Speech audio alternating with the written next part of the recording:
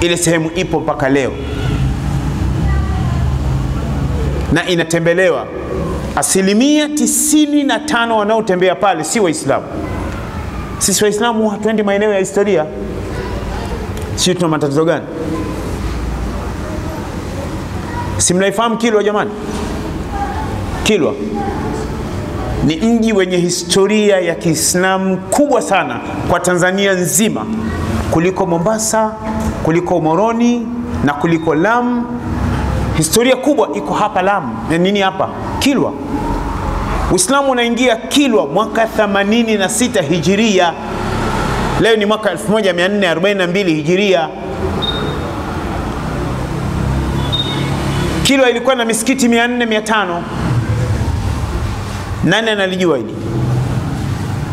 Hatuna habari. Tumeshajaribu angalau kwenda Bagamoyo.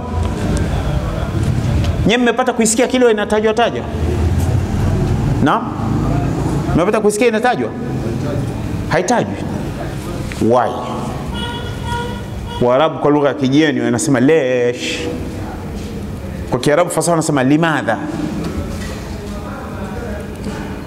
limadha la tudhkar qaryatu Kilwa au mantiqat Kilwa. Kwa nini Kilwa haitaji? Tatizo ni kwamba Kilwa ni ilikuwa ni mji wa Kiislamu na Kilwa ilikuwa na serikali na Kilwa walikuwa na coin, walikuwa na hela. Kilwa namwomba Mwenyezi Mungu inshallah akinijalia kupata nauli ya kwenda na kurudi na kukaa hoteli pale, niende niende nikaone mwenyewe. Si hapa Bagamoyo tunaambiwa kuna kisima, ukinywa maji yale unapona, si ndio? Nimepata kusikia. Halafu nimeambiwa kwamba Bagamoyo kuna kaburi la sahaba Musa. Hivi huyu sahaba Musa wa Mtume alifikaje Bagamoyo? Huyu ni Abu Musa al-Ash'ari, ni sahaba gani? Huni sasa, mambo mengine inabidi kwenda ukaone wewe mwenyewe. Sasa katika moja ya vitu ambavyo Waislamu ni rahisi, tunadanganywa, tunadanganywa sana kwenye historia. Sasa hawa watu kule Jordan, nimefika Ashabul Kahf, nimeona mwenyewe, nimeingia mpaka nimeona yale makaburi yao namna walivyo. Nimekwenda Muta, kilomita 80 kutoka mji mkuu Amman, nimefika kule. Kipindi cha baridi kali sana. Kwenda kumwona Jaafar bin Abi Talib alipozikwa, Abdullah bin Rawaha alipozikwa, Zaid bin Harith alipozikwa. Tumefika katika yale maeneo. Na vita ilipopiganwa pale, masahaba walipokwenda kupigana pale, tumefika pale.